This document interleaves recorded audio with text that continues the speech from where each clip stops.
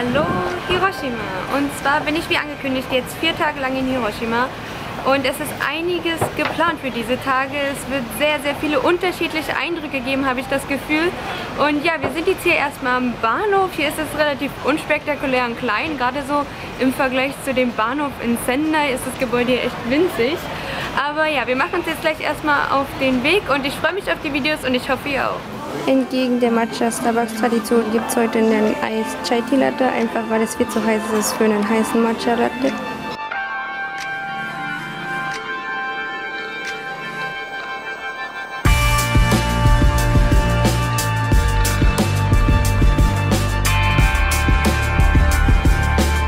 Wir beginnen die ganze Reise hier in Hiroshima mit einem etwas schwierigeren Thema.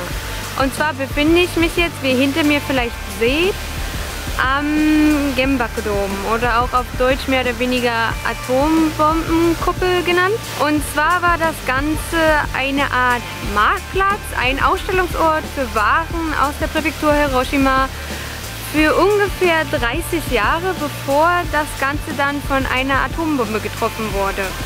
Und all die Menschen, die zu diesem Zeitpunkt in diesem Gebäude gearbeitet haben, sind ums Leben gekommen. Und ich habe eben noch in so einem Heft gelesen, also hier liegen Hefte in verschiedenen Sprachen aus, wo noch ein bisschen über den Krieg und über den ganzen Anschlag was drin steht.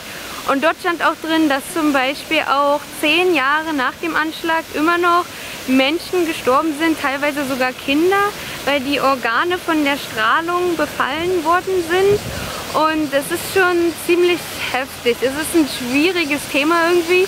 Ich finde es gut, dass das Ganze zum Weltkulturerbe gemacht wurde und damit Japan auch mal eine Seite zeigt, die nicht nur, hey, alles ist bunt, alles ist toll, alles ist schön, alles ist crazy, sondern auch mal eine Seite zeigt, so, ja, hier passieren auch schreckliche Dinge. Wir gehen jetzt gleich noch in das Museum zu dem Friedensdenkmal und ich hoffe mal, das wird auch noch sehr interessant und sehr spannend.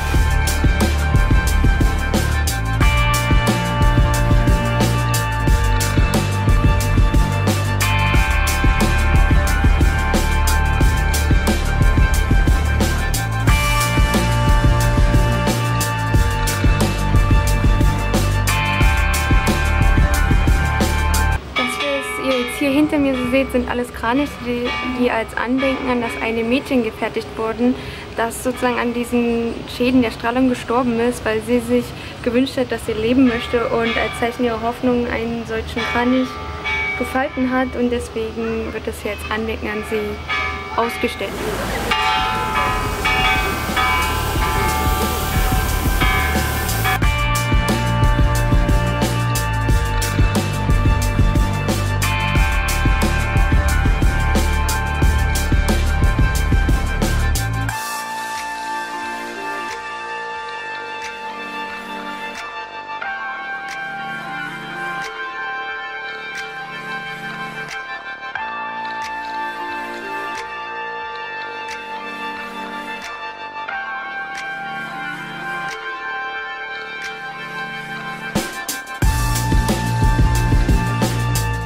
Halt einfach krass und fast auch unglaublich und für mich fast unvorstellbar, wie es damals nach diesem Einschlag ausgesehen hat und wie viele Menschen dort auch umgekommen sind. Das ist, weiß nicht, es ist schon echt ein komisches Gefühl, so wenn man darüber nachdenkt.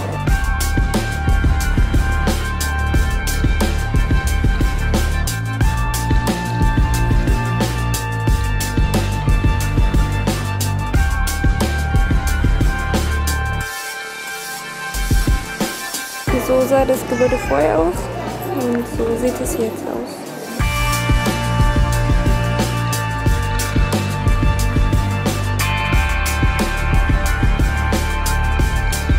Wir waren jetzt hier in dem Museum drin und als erstes muss ich sagen, das Museum ist mega günstig. Es kostet gerade mal 200 Yen, was ungefähr so 1,80 Euro sind oder so aktuell.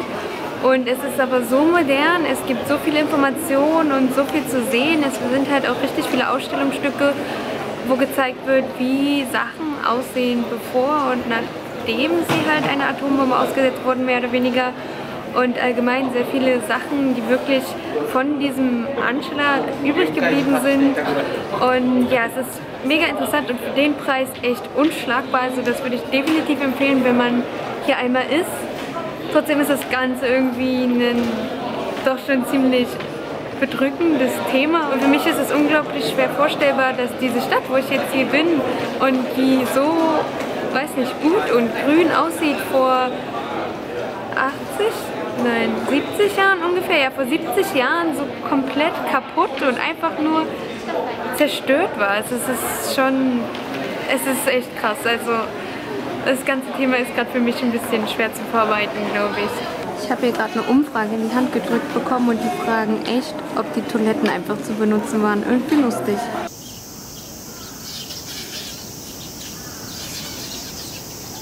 Es gibt wirklich Mülleimer hier in Hiroshima. Mülleimer! Öffentliche Mülleimer.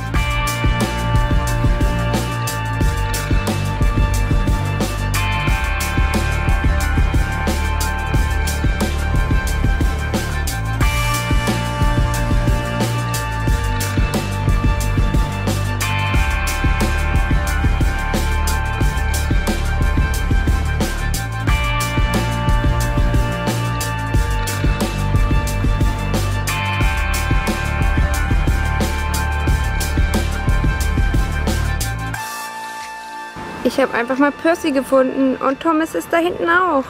Wir sind jetzt ein bisschen rumgelaufen, sind dann noch vorhin in unserem Airbnb eingecheckt und jetzt befinde ich mich an einer Straßenbahnhaltestelle und es ist so lange her, dass ich Straßenbahn gefahren bin. Es kommt gerade eine, jetzt wird es laut.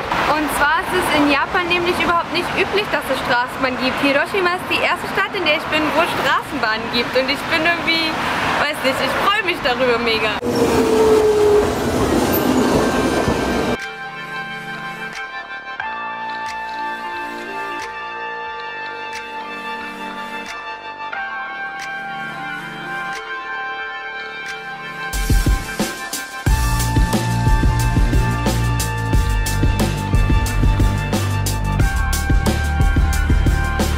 Befinden uns jetzt hier am Entertainment District bzw. auch Unterhaltungsbezirk von Hiroshima und zwar sind wir auf der Suche nach einem Okonomiyaki-Restaurant, denn Okonomiyaki in Hiroshima sollen ganz speziell sein, anders als die in Osaka. Mal sehen, was wir da finden.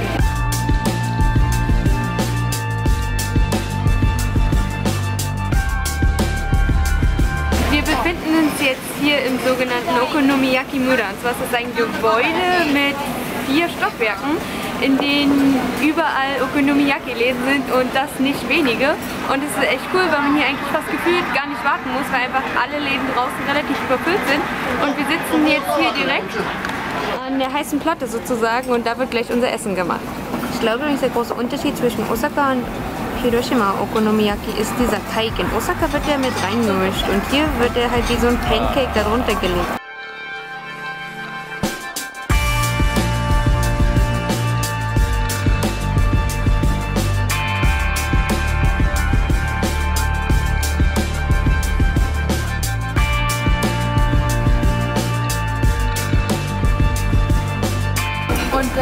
Hiroshima Okonomiyaki.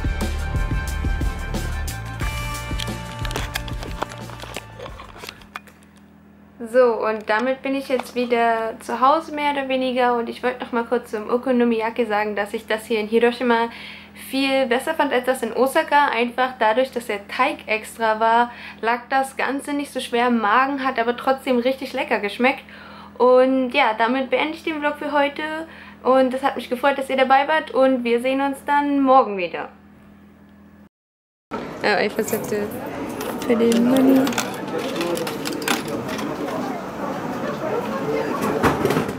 Which one do I have? Oh, I have Shiggy. No, what is it called? Squirtle. Squirtle. Yay! Yeah, in German it's Shiggy. Shiggy!